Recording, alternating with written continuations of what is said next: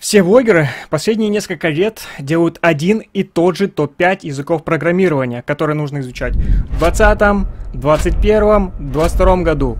Все, что меняется, это место конкретного языка в этом рейтинге. А в чем смысл этого видео? Это видео может изменить вашу жизнь.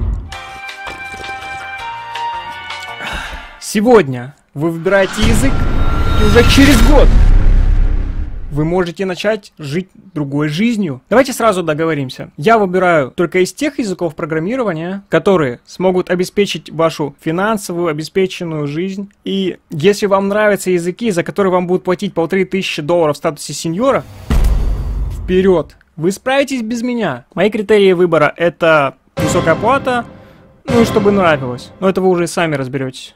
Начнем. JavaScript. Динамический язык программирования, который используется в основном в веб-разработке для создания интерактивных веб-сайтов с дополнительной функциональностью и веб-приложений. JavaScript — это настоящий король фронтенда.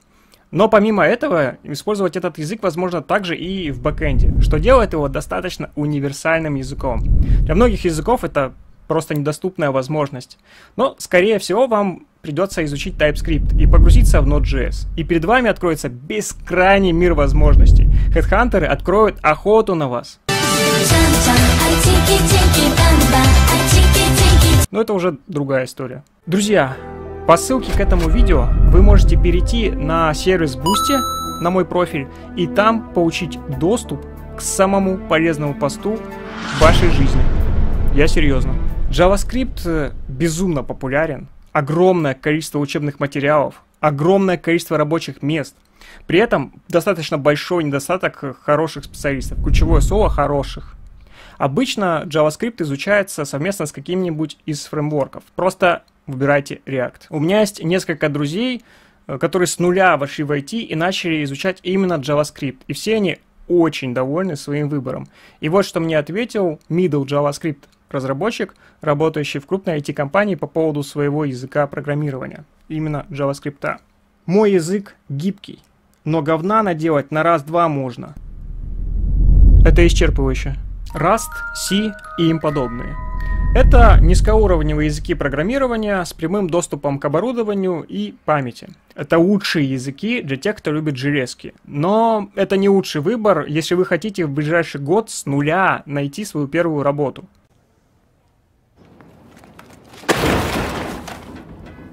Поэтому мы их пропустим. Но, но, если вы хотите найти свою первую работу после примерно пяти лет беспрерывного обучения, то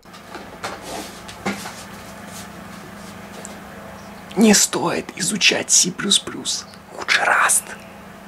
Python супер популярен используется для тестирования, веб-разработки, визуализация большого объема данных с помощью Pandas, настольные приложения, машинное обучение, Data Science. А это, кстати, самые высокие зарплаты, ну и самые высокие требования к знаниям. Как минимум, вам нужно будет иметь степень магистра по математике, ученую степень по тригонометрии, ну и, конечно же, закончить бакалавриат в универе магии и чародейства.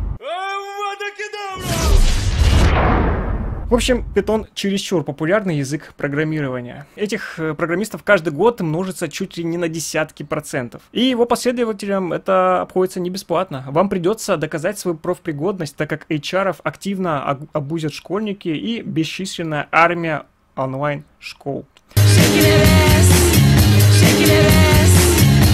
Но не все так плохо. Большая часть имеют достаточно посредственные знания. Поэтому у вас есть все шансы найти себе работу, если вы выберете этот язык. Друзей питонистов у меня больше всего, но там все достаточно неоднозначно. Я написал своему другу, э, питонщику в статусе Джуна, что он думает насчет питона, и вот что он мне ответил. Скажу, что он ебически популярен, но основная причина его популярности – это его же проклятие не менее исчерпывающе.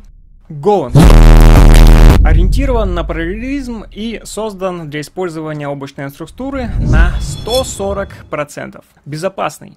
Создание надежных веб-приложений, микросервисов и API для взаимодействия с ними. Нет недостатков пакетов и ресурсов, доступных для него. Для новичков это достаточно сложный язык, э, не только потому, что он стремится похо- стать похожим на C, но в первую очередь из-за малого количества обучающих материалов. Но это один из самых высокооплачиваемых языков программирования и его еще никогда не было так просто начать изучать, как сегодня, потому что на моем канале уже тебя ждет плейлист с самым лучшим курсом для новичков.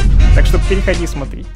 Кстати, вот что мне э, написал э, мой знакомый Гоферов, который работает в одной из крупных IT-компаний. Я не говорю названий, потому что это все супер засекречено, ну и, короче, вот это вот все. Я надеюсь, вы меня поймете. По Go могу сказать, что язык может показаться простым, но инфраструктура вокруг него такой показаться не сможет.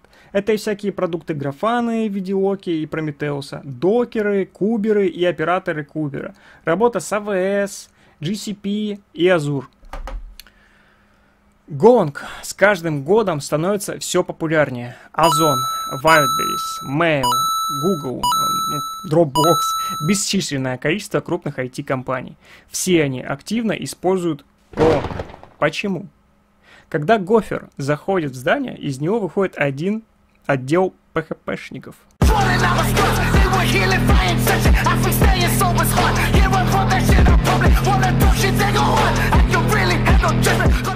Потому что один сервер на Go способен заменить несколько на PHP. PHP.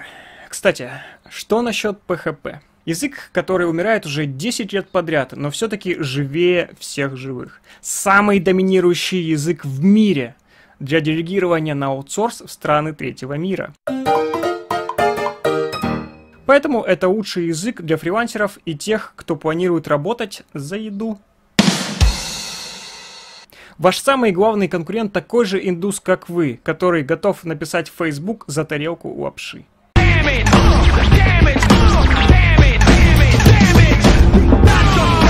Его стоит начать изучать, но только если вы мечтаете получать в районе 2000 долларов в статусе сеньора, имея пятилетний коммерческий опыт. Соболезную. Но таков путь. Таков путь. Таков путь. Мобильная разработка. Тут все предельно просто. Swift исключительно для разработки приложений для экосистемы Apple. Kotlin аналогично, только для устройств на Android. Это натив. Это востребовано, и без работы вы точно не останетесь. Но, если вам, как и мне, не удалось выбрать что-то одно, и вы выбираете все сразу, тогда начинайте учить Dart. Совместно с Flutter. Внимание! Сначала Dart, потом Flutter. Окей? Окей, окей, окей, окей, окей, окей. Ну, конечно, это на ваш страх и риск. Мой хороший друг э, пару лет назад своим первым языком программирования выбрал как раз-таки Dart. И это, когда на всю Россию было всего две вакансии, я не шучу. И свою первую работу он нашел уже через год активного обучения с зарплатой в 90 тысяч. А сейчас его просто разрывают HR. Серьезно.